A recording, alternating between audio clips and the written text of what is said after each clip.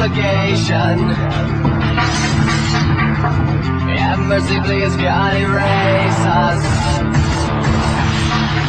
I can take another complication. I can take another complication. Have mercy, please, God, erase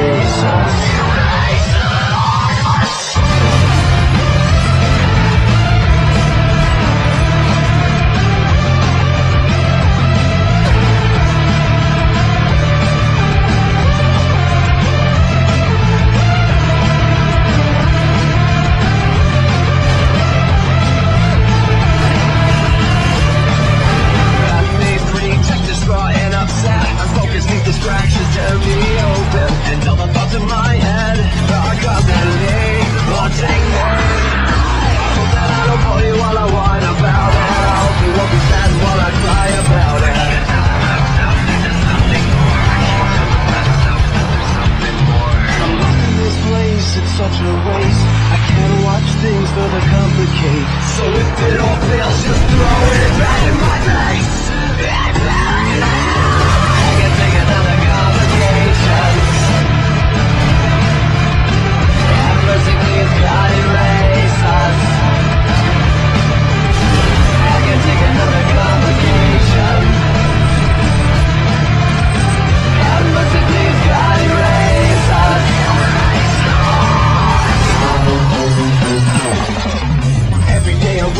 stagnant. Bullshit As soon as I escape there's more stagnant. Bullshit This endless propaganda.